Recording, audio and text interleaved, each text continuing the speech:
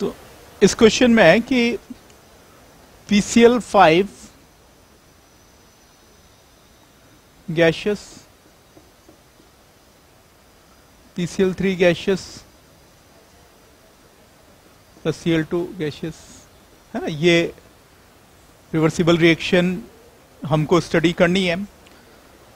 तो forward reaction at constant temperature favour by introducing chlorine gas at constant volume तो chlorine मिलाने पे क्या होगा?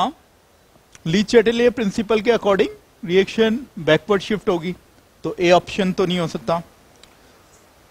Introducing an inert gas at constant pressure constant pressure पे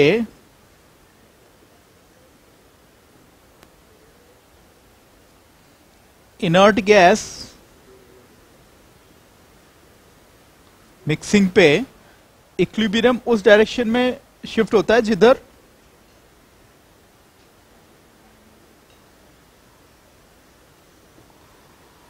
molecules जो है वो बढ़ रहे हों, ज़्यादा हो तो ये इधर टू है तो ये हो जाएगा left to right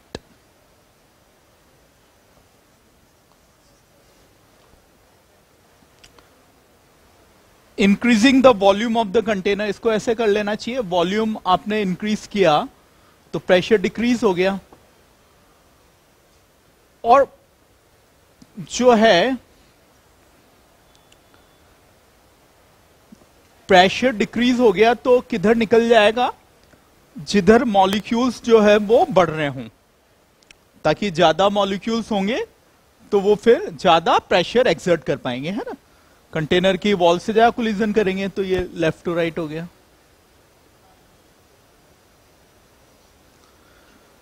इसके बाद डी ऑप्शन में इंट्रोड्यूसिंग पीसीएल फाइव तो ये तो लीचेटल प्रिंसिपल से है। किधर शिफ्ट हो गया ये? हमारे फॉरवर्ड शिफ्ट हो गया। This the answer